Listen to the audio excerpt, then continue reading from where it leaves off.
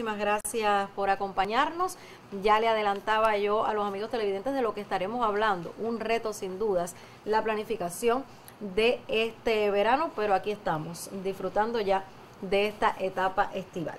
Me gustaría comenzar con Vireyes, eh, cómo se concibió en esta difícil circunstancia el verano en Granma. Sí, buenas tardes.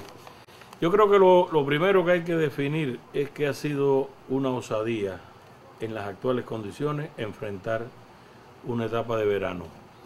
En primer lugar, se han tenido en cuenta los conceptos, las directrices que el presidente de la República definió para el verano y que todos los organismos liderados por la Unión de Jóvenes Comunistas y los demás factores han estado definiendo. En la provincia se creó la Comisión del Verano, se hicieron recorridos varios por los municipios y se fue definiendo porque hay un principio elemental y es que el verano tiene que llegar a la casa y a la comunidad. A las comunidades. Y de ahí comenzar a, a emerger en los diferentes escenarios como, como se ha hecho en otras ocasiones. Yo creo que si sacamos cuenta, la última actividad de verano se hizo en el 2019. Cuando llegamos al 20 ya había pasado un año. Al 21 son dos y ahora son tres. Realmente son tres años que nosotros no hacemos carnaval ni hacemos Sin disfrutar de las actividades que siempre esperamos. Entonces teníamos la disyuntiva en general en el país, o seguimos bajo las medidas, la restricción, toda la situación de la pandemia, o empezamos a hacer algo en las actuales condiciones.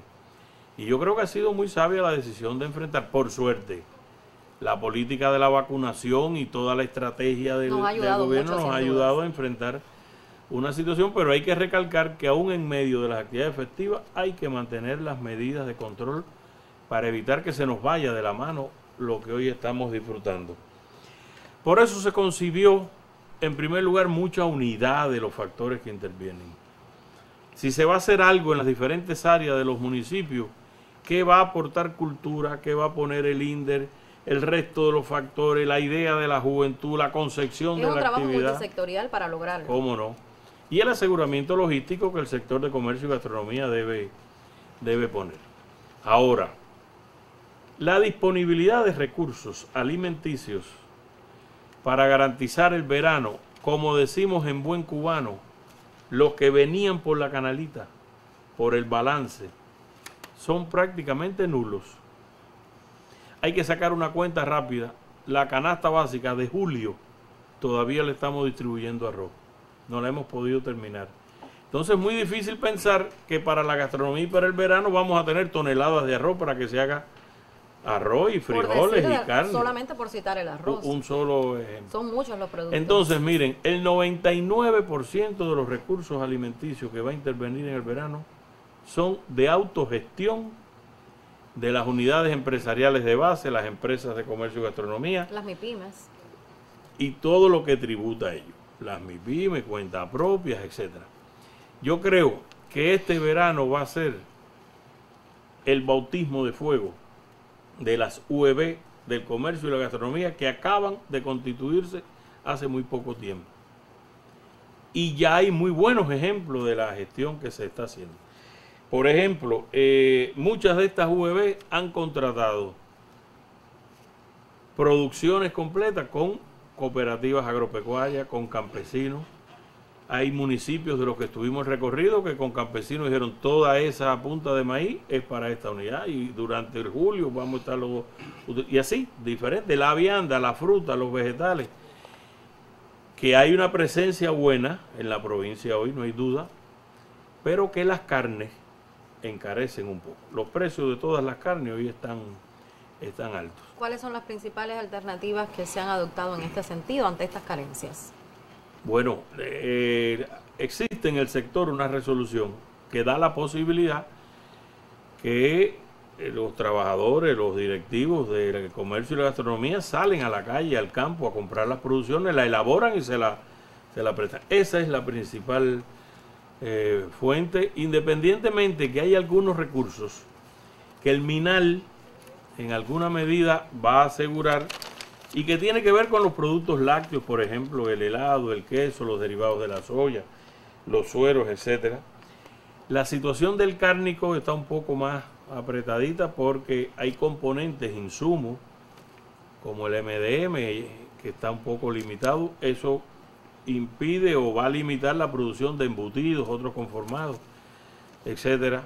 Va a haber productos en conserva. Las bebidas alcohólicas, fundamentalmente el licores, el ron, ha estado limitado por la ausencia de alcohol. La zafra fue muy deprimida, los volúmenes de mieles y alcoholes han estado bajos, pero tenemos los Gran y una fortaleza, que es tener a Mabay tener uno de las mejores UV de derivados del país.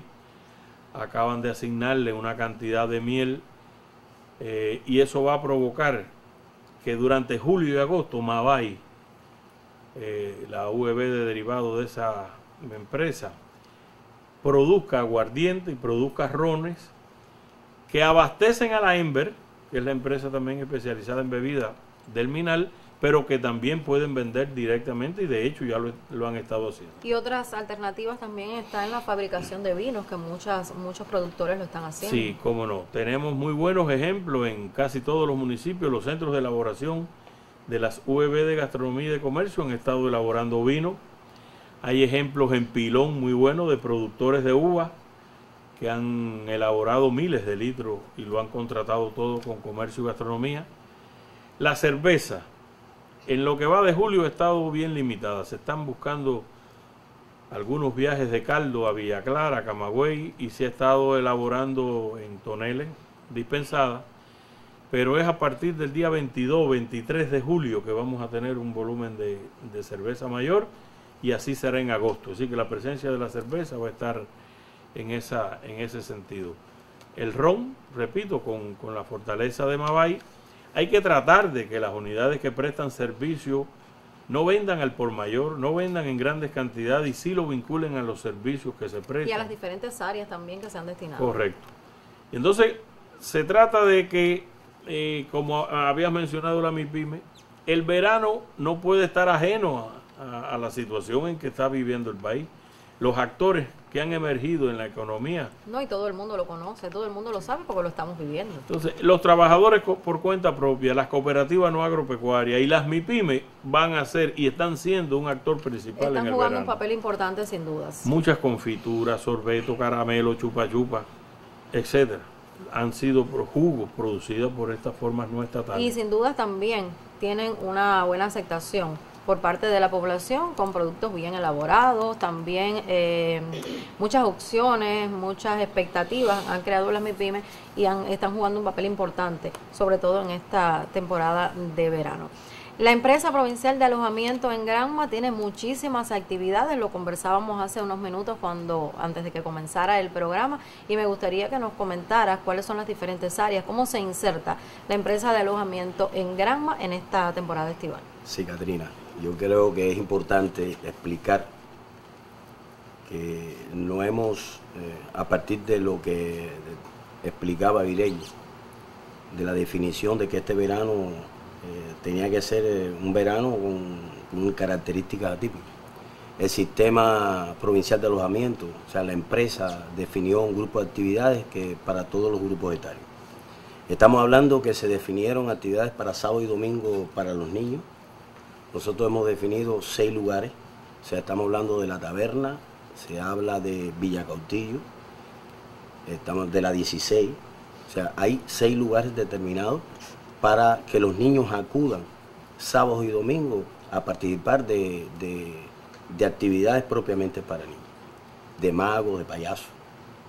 Se definieron también los días viernes, sábado y domingo eh, actividades para adultos o sea, para jóvenes adultos. Estoy hablando de cabaret, estaba hablando de, actividades para las personas ya adultas de, la década prodigiosa.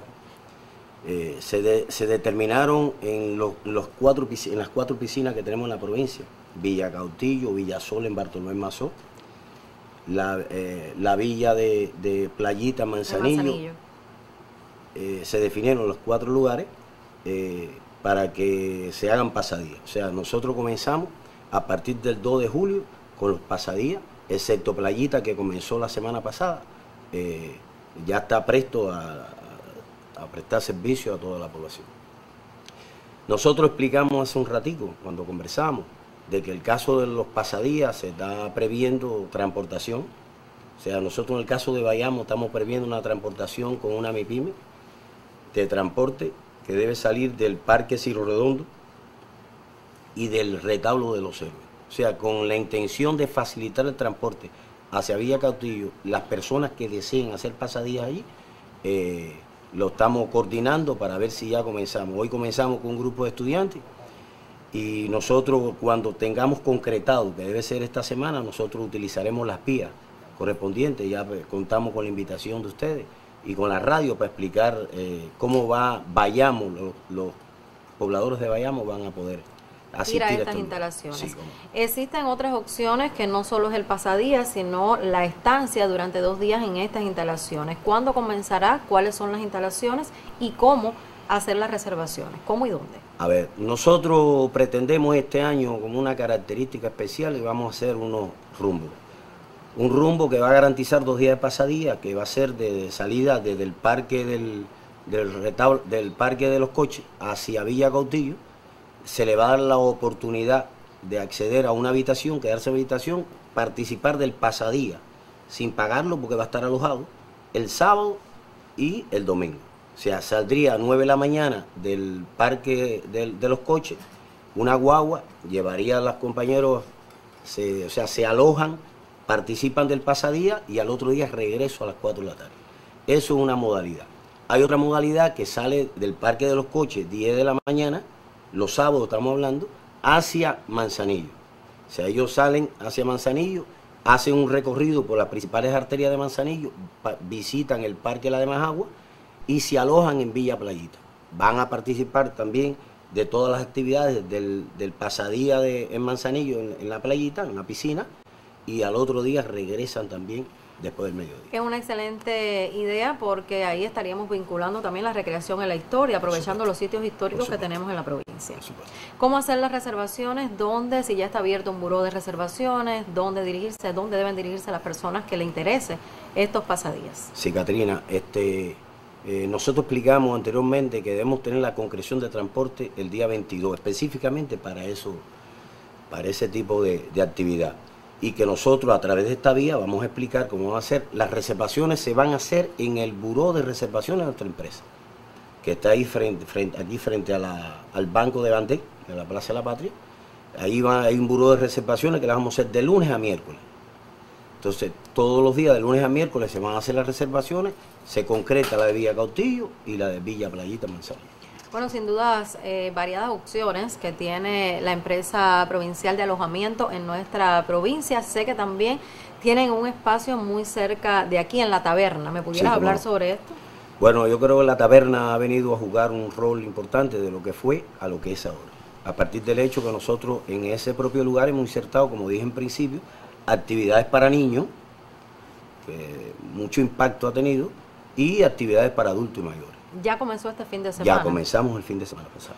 Nosotros las actividades de mayores veníamos desarrollándolas desde los fines de semana del mes de junio, pero ahora cogió un auge porque también insertamos actividades de los niños.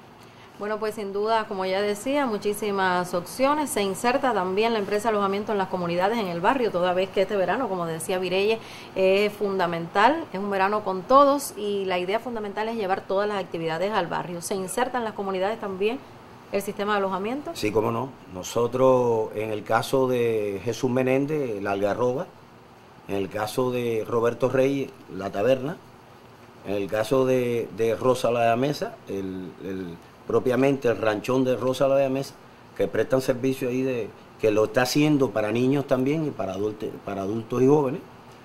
Y así lo estamos haciendo en las comunidades como Río Cauto, Bartolomé Mazó, Niquero y Manzanillo. Bueno, pues eh, varias opciones tenemos aquí en Granma, no solo en Bayamo, ya lo decía, en otros municipios de nuestro territorio para este verano con todos. Es hora de una de nuestras secciones. Vamos al campismo, la sección veraneando. Conozcamos las opciones que tenemos para esta etapa estival desde el campismo para disfrutar con todos, con toda nuestra familia. Aquí tienen veraneando.